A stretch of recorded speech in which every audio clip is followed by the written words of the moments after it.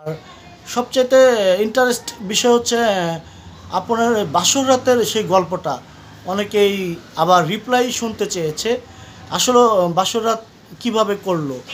আমরা অনেকেই জানতে চেয়েছে আমরা সেই কথাগুলো দর্শকের অনুরোধে আবার তুলে ধরার চেষ্টা করব। তো দর্শক আমাদের ধৈর্য আমাদের সঙ্গে থাকুন ধৈর্য সহকারে ভিডিওটি দেখতে থাকুন। আপু আসসালামু আলাইকুম। ওয়ালাইকুম আসসালাম। আপু কেমন আছেন? জি আলহামদুলিল্লাহ ভালো। আলহামদুলিল্লাহ ভালো আছেন। তো আপু আপনার আজকে কি খাওয়া দাওয়া হয়েছে? জি আমার খাওয়া দাওয়া হয়ে গেছে। আমি এখন এখন কি? এখন অনেকটা ভালো। এখন অনেকটা ভালো আছেন? আচ্ছা আচ্ছা। তো আপু আপনি তো রমজান চলে গেল। রমজানে রোজা তিরিশটা রাখতে পেরেছেন? তিরিশটা পারিনি কিছু পাঁচটা ভাঙছিলাম। পাঁচটা ভাঙা হয়েছে। হ্যাঁ। এটা কি শারীরিক কোনো অসুবিধার কারণে না? শারীরিক অসুবিধা বলতে প্রচুর গরম ছিল যার কারণে আমি রাখতে পারিনি রোদের কারণে। প্রচুর গরম ছিল। অসুস্থ হয়ে পড়েছেন। আচ্ছা তো আজকে তো আপনি আমাদের ক্যামেরার সামনে একেবারে অন্য লুকে চলে আসছেন। সেটা কি দর্শকদেরকে আকর্ষণ দেখানোর জন্য করানোর জন্য? দেখানোর জন্য দর্শকরা তো আগেও আমাকে দেখছে আমি কি তো নতুন না মিডিয়াতে। হ্যাঁ তো সেই ক্ষেত্রে আমাকে দর্শক আগেও দেখছে এটা পুরানো বললে চলে। পুরানো বললেই চলে। হ্যাঁ। আজকে তো সাজুগুজুটাও চমৎকার করেছেন। থ্যাংক ইউ তারপর আপনার সাজুগুজু তো আজকে খুব সুন্দর হয়েছে। থ্যাংক ইউ হ্যাঁ আচ্ছা ওয়েলকাম আপনাকে। অনেক অনেক ধন্যবাদ। তো আপু আমরা আজকে দর্শকের রিকোয়েস্টে আসছি। তো তারা আপনার বাসরাতের গল্পটা রিপ্লাই আবার শুনতে চেয়েছে। আসলে এটা কি বানোয়াট না আপনি মন গড়া কথা বলেছেন? এই জন্য আমরা আবার আসছি। আসলে দর্শকদেরকে বোঝানোর জন্য যে না রিয়েল সত্য ঘটনা। মানুষের জীবনে রিয়েলটা আমি আমি যেটা বলছি সেটা কিন্তু আমার বাস্তব জীবন কিন্তু সাধারণত এখন বর্তমান যুগে হিজাদের কিন্তু কন্টিনিউ বিয়ে সাথে হচ্ছে। ম্যাক্সিমাম হিজাদেরই কিন্তু হাজব্যান্ড আছে। তো সেক্ষেত্রে আমারটা কেন ব্যতিক্রম হবে? আমারটা কেন আলাদা হবে? আমি দেখতে এত কুশ্রী এত খারাপ? আর পাঁচটা মেয়ের সঙ্গে আমাকে তুলনা করা যায় না? মেয়েদের থেকে কি আমি একেবারেই অচল? না না আমি তো সেটা বলিনি। মানে আমার বাসর ঘরটা নিয়ে এত কেন কৌতূহল মানুষের জীবনে যে আমাকে আমি কখনো কোনো ছেলের সঙ্গে শারীরিক সম্পর্ক করতে পারি না। সে আমাকে ভালোবাসতে পারে না কিংবা আমি কাউকে ভালোবাসতে পারি না সেটা আমার বাসর ফুল সজ্জা কোনোটাই হবে না। এটা ব্যতিক্রম কেন? না মানে আমার কথাটা আপনি ক্লিয়ার বুঝতে পেরেছেন কিনা জানি না। কথাটা বুঝতে পারছি যে মানুষ ভাবতেছে যে আমার বাসর ঘরটা পুরোটা মিথ্যা। হ্যাঁ। এটা বলছে না? হ্যাঁ। এই জন্য আমি বললাম যে আমার বাসর ঘরটা মিথ্যা হবে কেন? আচ্ছা আহ, বাসরঘরের সেই চমৎকার রাতটির কথা আপনার মনে আছে? ওটা কখনো কেউ ভোলা যায়? আচ্ছা প্রথম রাতের অভিজ্ঞতার কথাটা একটু বলবেন আমাদের দর্শকদেরকে যারা অবিশ্বাস করেছে। আমি আবারও বলতে হচ্ছে যে যারা আমাকে অবিশ্বাস করছে আমার ফ্রেন্ড আমার ভালো বন্ধুরা আমাকে অবিশ্বাস করতেছে এটা আমার দুর্ভাগ্য। যাই হোক আমি না অনেক আমি তো এখন আমি কি বলব? আমি না অনেক সেক্সি সত্য কথা বলতে কি আমি না অনেক সেক্সি আচ্ছা হ্যাঁ। আচ্ছা। তো আমি একটা ছেলেকে যখন ভালোবাসলাম তো ছেলেটা আমাকে কিন্তু অনেক আবেগ দিত অনেক ভালোবাসতো। তো ছেলেটা আমাকে বলতো প্রত- প্রত্যেকদিনই শারীরিক সম্পর্ক করার জন্য। কিন্তু আমি তো আবার সব দিনই তো সম্ভব না। আমিও তো একটা মানুষ। অসুস্থতা সুস্থতা বলতে তো একটা বস্তু আছে। তো সেই ক্ষেত্রে আমি বলব যে বাসর ঘরের রোমান্সটা আমি কখনো ভুলতে পারি না। এতদিন রোমান্স করছে এত ভালোবাসছে সে আমাকে এতগুলা বছর কিন্তু বাসর ঘরের রাতটা না ভোলা যায় না। আচ্ছা আচ্ছা। ভোলা যায় না, ঠিক আছে। মানে প্রথম রাতে আপনি যখন বাসর ঘরে গেলেন, বধূ সেজে তারপর কি হলো? আপনার, আপনি কি আগে মানে ফুলশয্যায় বসেছিলেন? আমি তো বসেই ছিলাম কিন্তু বসে থাকার পরে যখন কি বধূ সেজে? হ্যাঁ বধূ সেজেই। লাল শাড়ি, বেনারসি? বেনারসি না মানে লাল শাড়ি আর কি। বেনারসি বলে ভুল হবে। হ্যাঁ তো সেই ক্ষেত্রে লাল শাড়ি পরে বসেছিলাম ও তো পাঞ্জাবি পরেছিল। হ্যাঁ। আচ্ছা, আচ্ছা, হ্যাঁ। পরে যখন আমার রুমে আসলো বাসর ঘরের রুমটা সাজিয়েছেন কি দিয়ে? ফুল দিয়ে সাজানো ফুল দিয়ে সাজানো ছিল। একেবারে আহামরি যে অনেক ফুল টুল দিয়ে এরকম কিছু না। আচ্ছা আচ্ছা। সিম্পলের মধ্যে আর কি। ফুল দিয়ে সাজানো মাঝখানে আপনি? আমি বসেছিলাম ও রুমে ঢুকলো। আচ্ছা, ঢোকার আচ্ছা। পরে পাশে টি টেবিলের উপরে গ্লাসে করা দুধ ছিল। হ্যাঁ টেবিলের উপরে আর কি। আচ্ছা, দুধ। ছিল দুধটা খাওয়ার পরে ও বসল আমার কাছে। আমার অনেক লজ্জা লাগতেছিল সেই মুহূর্তটা। গ্লাসের দুধ খেলো? বাসরাতে আপনার গ্লাসের দুধ খেলো কেন? মানে আপনার ওটা তো অনেক পরের ঘটনা। ফার্স্টের। কথা আমি বললাম। হ্যাঁ আচ্ছা আচ্ছা। তো গ্লাসে একটু দুধ ছিল সেই দুধটা খাইলো খাওয়ার পরে আমার পাশে বসল। বসার পরে আমাকে বলতেছে যে আমার ঘুমটাটা উঠে আমার মুখটা দেখল। দেখার পরে বলতেছে কি মাশাল্লাহ এ কথা বলছে। ও কিন্তু অনেক নামাজ কালাম পরে হ্যাঁ, হ্যাঁ ওর কিন্তু এখনও কিন্তু আগেও দাঁড়িয়ে ছিল হ্যাঁ। এখনও বড় বড় দাঁড়িয়ে আছে। আচ্ছা আচ্ছা। হ্যাঁ তো আমাকে বলল যে মাশাল্লাহ অনেক সুন্দর লাগতেছে তোমাকে। তো আমি বললাম যে আমি তো কিছু বলি না আমার না অনেক খারাপ লাগতেছে লজ্জা লাগতেছিল। তো সেই ক্ষেত্রে ও আমাকে নিয়ে জড়ায় ধরে শুয়ে পড়ল। সে বলেছে শুয়ে পড়ে আমার একটু এদিকে সেদিকে চোমা চাপড় দিল কিস টিস করতেছে। তখন আপনার ভিতরে অনুভূতিটা কি? আমার ভিতরে অনুভূতিটা আমার অনেক মানে কি বলব আমার এটা তো মানুষের জীবনে আমার জীবনে ফার্স্ট প্রতিটা মানুষের জীবনে কিন্তু বাসরঘর একবারই হয়। একবারই হয় হ্যাঁ। সেক্স কিন্তু দীর্ঘ মানুষের সঙ্গে করা যায় কিন্তু বাসর ঘর কিন্তু সবার সঙ্গে হয় না। হয় না প্রথম জীবন এবং ফার্স্ট এবং লাস্ট আছে। আছে হ্যাঁ। হ্যাঁ তো আমার তো প্রথম এটা। তো সেই ক্ষেত্রে আমাকে সেই ক্ষেত্রে আমাকে মনে করেন যে অনেক আদর ভালোবাসা দিচ্ছে। হ্যাঁ অনেক আদর করতেছে। করতে করতে না পরে আমি না লজ্জাই না মুখের উপরে একটা ইয়া দিয়ে রুমাল দিয়ে হ্যাঁ। হ্যাঁ ওইটা দিয়ে না মুখের উপরে দিয়ে রাখছি। বাকিটা তো ইতিহাস। আচ্ছা আচ্ছা। তারপরে হলো মানে বাসরঘর করা হলো। তারপরে তারপরে গল্পটা বলুন।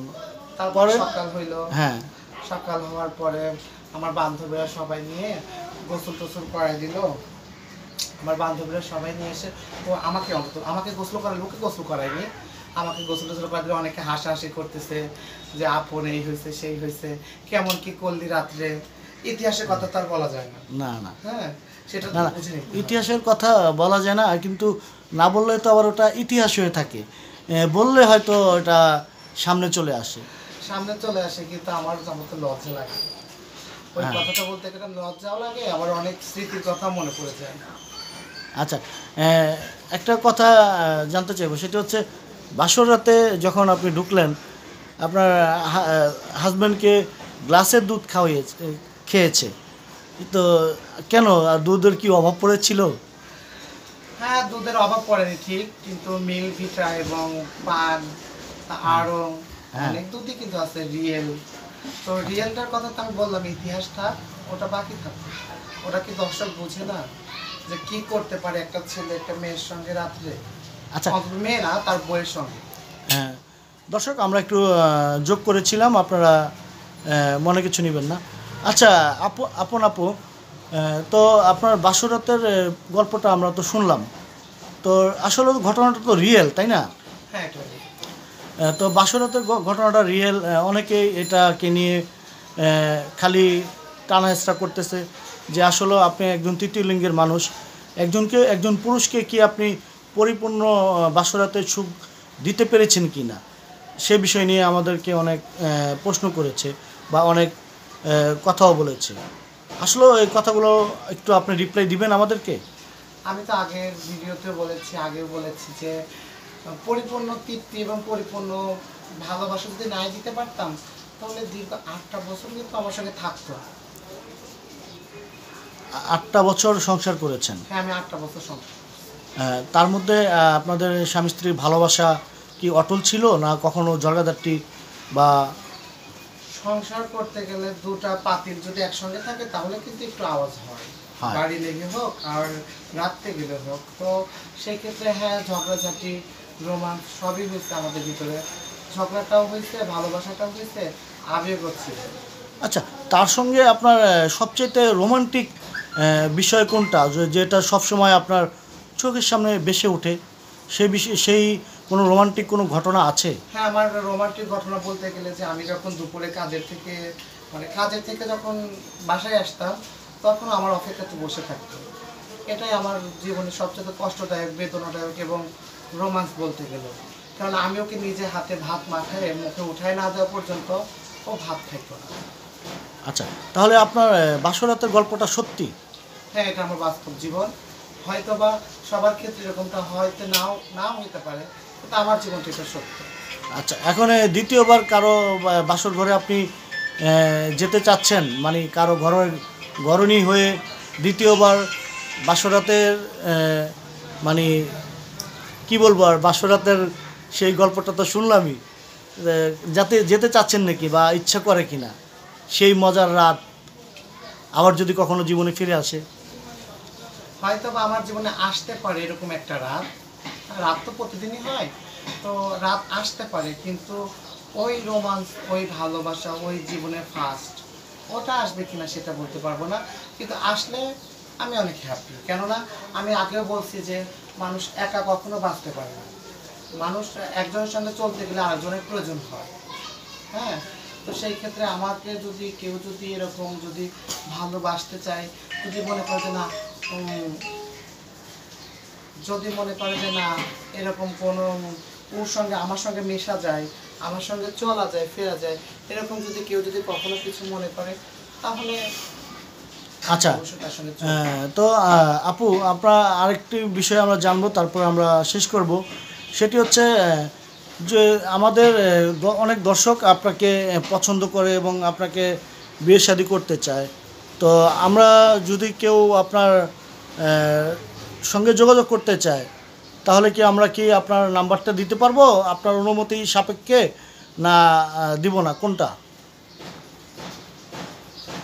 নাম্বার কি আপনার? নাম্বার কি সবাইকে দিয়ে দিব? আপনার সঙ্গে যোগাযোগ করার জন্য? না দিব না কোনটা? আমি বলি কি আমার নাম্বারটা না দিয়ে আমাদের চ্যানেলের মাধ্যমে আমাদের ভাই আরিফ ভাইয়ের মাধ্যমে যদি আমার সঙ্গে দর্শক যোগাযোগ করে এটাই সব থেকে আমি ভালো মনে করি বেটার মনে করি। আচ্ছা আচ্ছা। আর আরেকটা বিষয় হচ্ছে আপু একদম সত্যি করে মন থেকে আপনি আমাকে একটা সত্যি করে কথা বলবেন যেটা একেবারে সত্যি রিয়েল কোনো লুকোচুরি নেই। একবারে রিয়েল করে বলবেন, আপনি কি আসলে দ্বিতীয় কোনো জীবনসঙ্গী চান কিনা? আপনি কি কাউকে নিয়ে সুখী হতে চান কিনা? কারোর সঙ্গে আপনার এই জীবনটা আবার জড়াতে চান কিনা? সত্য কথা বলতে কি না, আমি না এরকমটা কখনো ও চলে যাওয়ার পরে আমি ভাবছিলাম যে আমার জীবনের হালটাই আমি ছেড়ে দিয়েছিলাম কেননা আমি গলায় দড়িও দিয়েছি হ্যাঁ? আমি দীর্ঘদিন যাবত ঘুমের ট্যাবলেট হ্যাঁ? আমি ঘুমের ট্যাবলেটটাও খেয়ে রাত কাটাইছি। কারণ আমি অনেক পাগলের মতো হয়ে গেছিলাম। ওর স্মৃতি ওর ভালোবাসাটা আমি বলতে পারিনি। আচ্ছা হ্যাঁ, আচ্ছা হ্যাঁ। তো যার কারণে আমি অনেক কিছু নেশা না মানে আমি কোনো অন্য কোনো নেশা না কারণ আমার চায়ের নেশাটাও নাই। আমি মানুষ চা খায় আমি কিন্তু সেটাও খাই না। সিগারেট তো দূরের কথা। কিন্তু আমি ঘুমের ট্যাবলেট দীর্ঘদিন ধরে খাইছি নিজে অ্যাবনর্মালের মতো হয়ে গেছিলাম ওকে হারানোর পরে। তো সেই ক্ষেত্রে এখন যদি কোনো লোক যদি আমাকে যদি এরকম রিয়েল ভালোবাসে সেও যদি আমাকে সত্য ভালোবাসে সত্য যদি আমাকে যদি আমার সঙ্গে মিশতে চায় আমার সঙ্গে চলাফেরা করতে চায় তাহলে সেক্ষেত্রে আমি বলব যে হ্যাঁ আমি সেটা গ্রহণ করব সে আচ্ছা। যেমনই হোক সে কালো হোক সে কুশ্রিত হোক সে ন্যাংরা কি প্রতিবন্ধী কিনা হোক কিন্তু সে যদি আমাকে রিয়েল ভালোবাসে তাহলে অবশ্যই আমি তাকে গ্রহণ করব আচ্ছা তো গ্রহণ করবেন ঠিক আছে আপনি লম্বা কত ফুট আছেন? মানে লম্বা কত কত ফুট আছেন? আপনার সেম সেম হতে হবে তো লোকটা? এখন যদি আপনি যাকে বিয়ে করেছেন বা যাকে জীবনসঙ্গী করবেন সে যদি আপনার গলায় আপনার গলায় পড়ে বা আপনার বুকের উপরে পড়ে তাহলে তো হবে না। সে পৌরসভা থেকে মই নিয়ে আসবে। পৌরসভা থেকে মই নিয়ে আসলে মই দিয়ে কি কাজ হবে? মনের কাজ।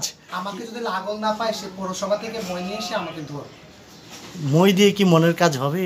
কি আজব আবেগ দিয়ে কি- কথাই যদি আপনি বলেন তাহলে তো সেই ক্ষেত্রে তো লম্বা আর বেটে দিয়ে কোনো কিছু যায় আসে না। তো আচ্ছা, ভালোবাসা। ভালোবাসা।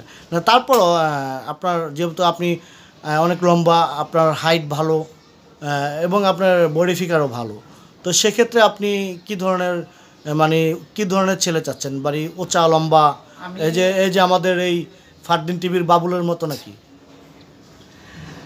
পোচা লম্বা বলতে আমি তো আগেও বলেছি যে ভালোবাসার কোনো রং নেই। সেটা যেমনই হোক, সে যেই হোক। তা আমি বলব যে আমি যেমন ঠিক সবাই আশা করি একটু ভালোটাই, খারাপটা কিন্তু কেউই গ্রহণ করতে চায় না। তো সেক্ষেত্রে তবু আমি বলব যে কপালে যেটা সেটাই হবে। আচ্ছা আচ্ছা।